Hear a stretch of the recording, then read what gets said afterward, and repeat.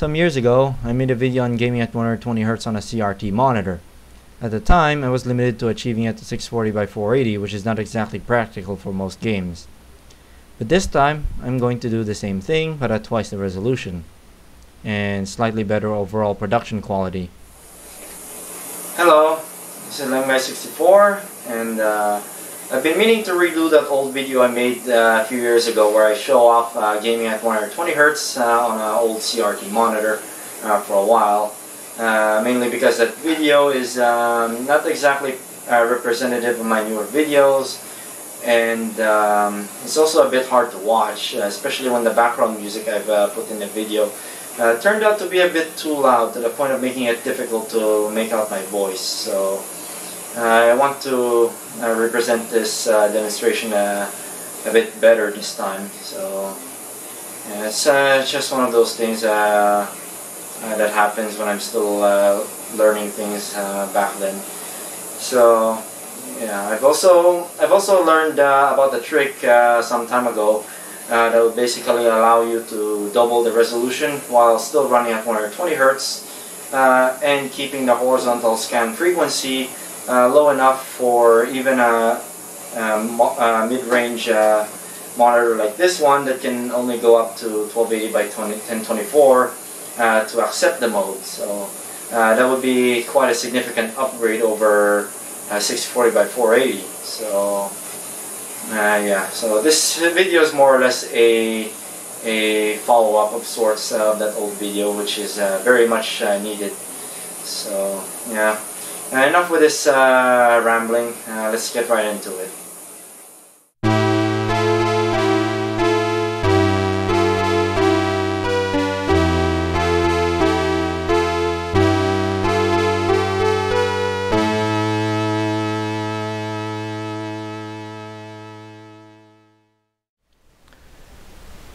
For the majority of this video, I'll be using this AOC 7VLR monitor as I already have it as my secondary display on my table.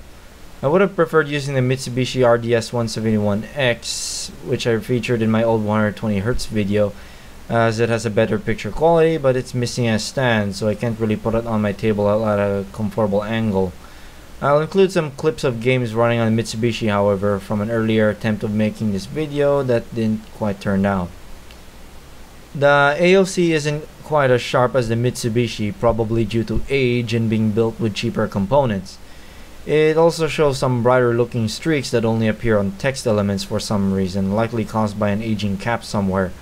Both monitors have the same supported horizontal scan frequency of up to 70 kHz, which is common on most 17-inch CRT monitors in the mid-2000s.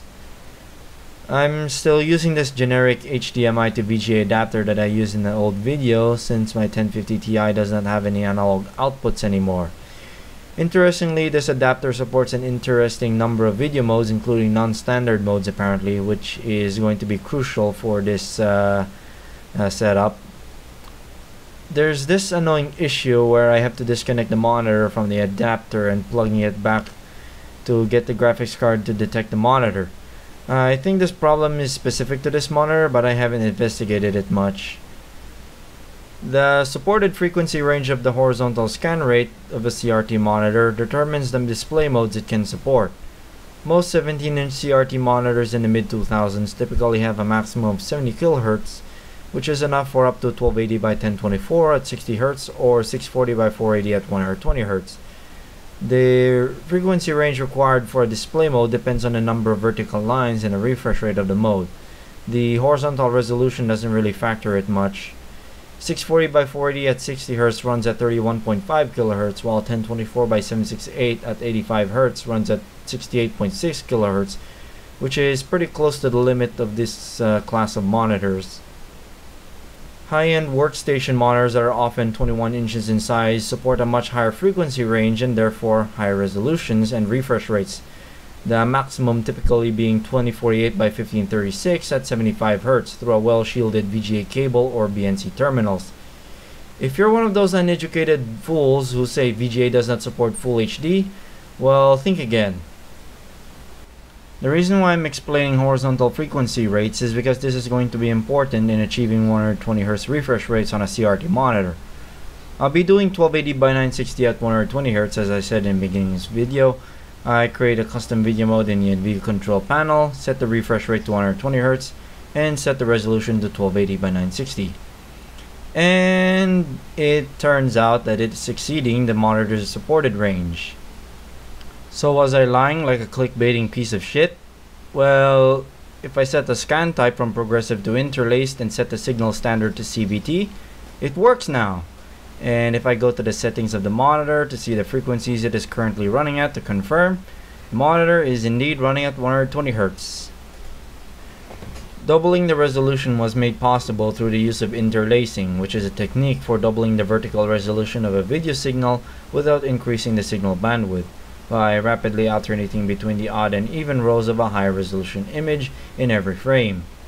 An example of interlace being used is in analog video sources such as composite, S-video, and analog television broadcasts, as the NTSC standard originally supported 262 progressive lines as the standard only ran at 15 kHz, but the resolution was doubled while maintaining compatibility with the existing television infrastructure through the use of interlacing. 262 line progressive signals were still used mostly in video games prior to uh, 6th generation, which you can tell by the lack of jitter when playing on a CRT display and when a game isn't running in a high resolution mode on 5th gen systems. You might think that because the signal is interlaced, the picture would look jittery or exhibit combing artifacts that occur if you don't deinterlace your interlaced content properly.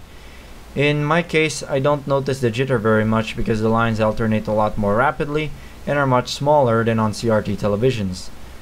I never notice the combing artifact unless I have a dual monitors running and one of the displays is running at 60Hz which causes games to sync to that display and that is where I start seeing those artifacts.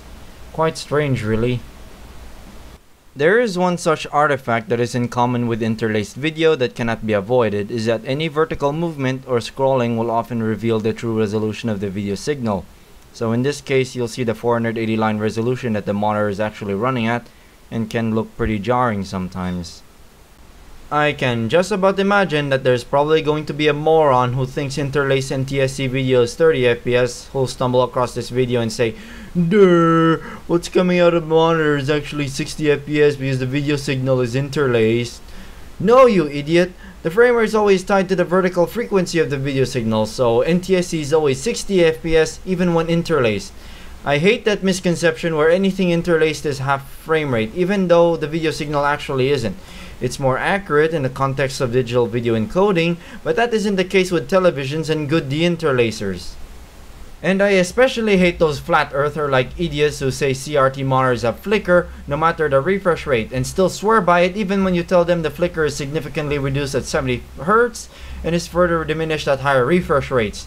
The flicker you see in this video, even when the monitor is running at a higher refresh rate, is actually caused by the camera and could be fixed if I could synchronize my camera to the monitor's refresh rate, but I can't do that because my camera only records at 25 or 50 FPS, so I can't really do much about it. There's so much stupid people on this world. And before you call me an idiot who doesn't know about proper video capture, there's a reason why I'm filming gameplay with a camera in front of the screen and that is so the high refresh rate will be captured by the camera as motion blur and would look slightly smoother than usual even in a 50 FPS video. If I were to capture it directly then there's no way to show it on YouTube unless viewers have 120Hz capable displays to begin with and I don't think YouTube supports frame rates greater than 60 anyway. So what's it like gaming with this setup? Well, pretty good actually. Though there'll be some problems mostly related to playing modern titles with a 4x3 aspect ratio screen that varies from game to game. Games like Hollow Knight, Cuphead, and Enter the Gungeon can only display in letterbox form likely because they were designed to be played on widescreen displays. Setting the right resolution on Gungeon can be tricky though and can be quite a fight to get it to select 1280 by 960. I once managed to play Gungeon in full 4x3 aspect ratio which you can see in this old clip I took but I wasn't able to replicate it when taking new clips for this video unfortunately. One of the benefits of using a well-tuned CRT monitor is that they often have excellent contrast that even IPS displays cannot surpass, which makes games like Hollow Knight look excellent on it, especially with the pure black colors that IPS displays cannot fully match. An OLED display would most certainly beat it, but such displays are expensive as heck and develop burn-in faster than CRTs do, if you can find an OLED monitor. Cameras don't do justice on representing the color quality of CRT monitors, so the only way to find out how good it really looks is by seeing it for yourself. 3D games like Doom 2016, Quake Champions, and A Hat in Time can be played in full 4x3 aspect ratio, and the first two titles only exhibit minor cosmetic issues such as squished UI elements, but A Hat in Time will exhibit some UI alignment issues in the menus when forcing it to run in 4x3. It also doesn't let you select 1280 by 960 in the settings, so you'll have to go to the developer console and use the setres command to force the desired resolution. If uh, dev console is not accessible, you'll have to do it through the config files. Games that have a hard cap of 60 FPS such as Freedom Planet will not look better on a 120Hz display because the game still runs at 60 FPS no matter what, which is uh, quite disappointing really. The opposite also happens in some games such as Ori and the Blind Forest where game seems to play faster than usual when running at a higher frame rate, which is unusual for a game made in Unity.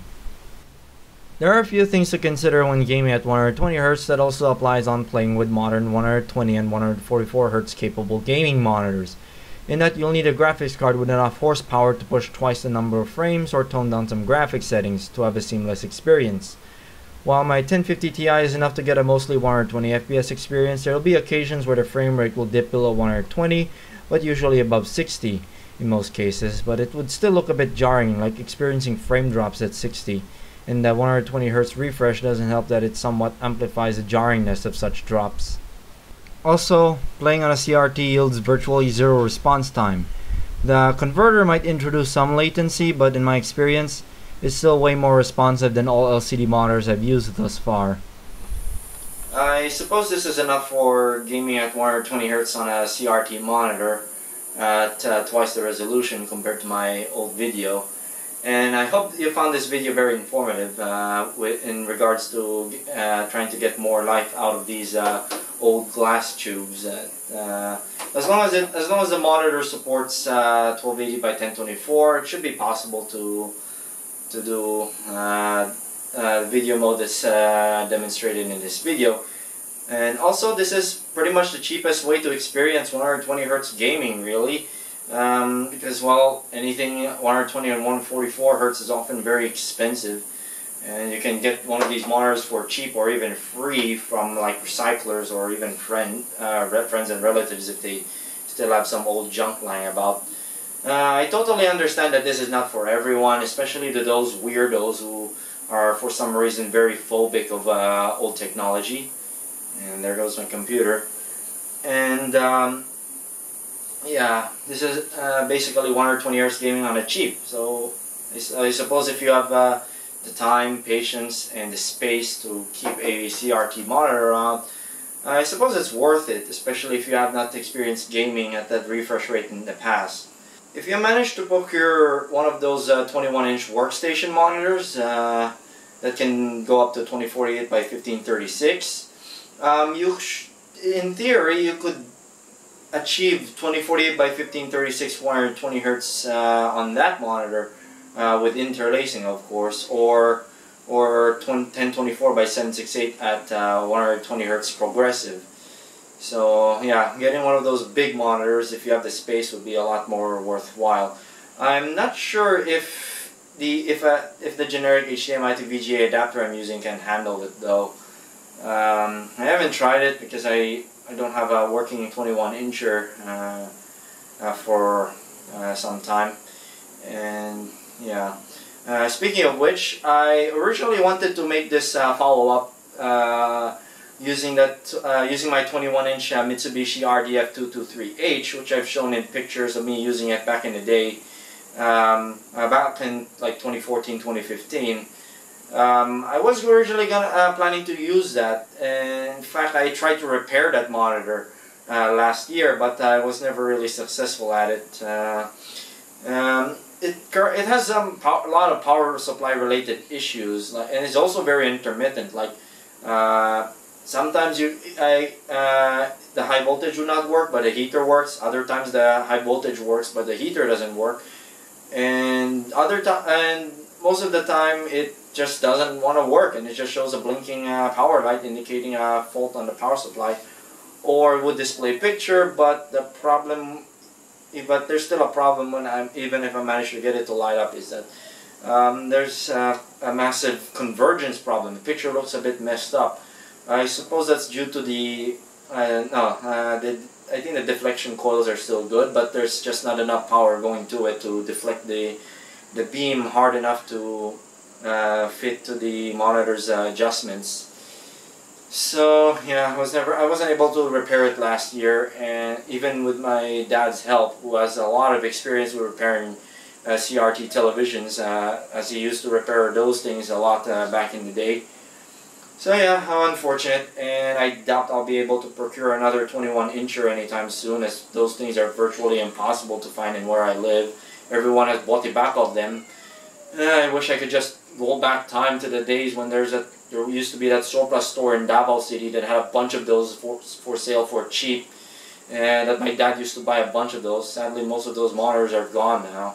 They had a bunch of like workstation monitors sometimes. I didn't really get to see what they had there, but I imagine they had like one of those workstation monitors with like BNC terminals, Sync on Green uh, for your for compatible for compatibility with SGIs and Suns and uh, things like that that use Sync on Green signaling.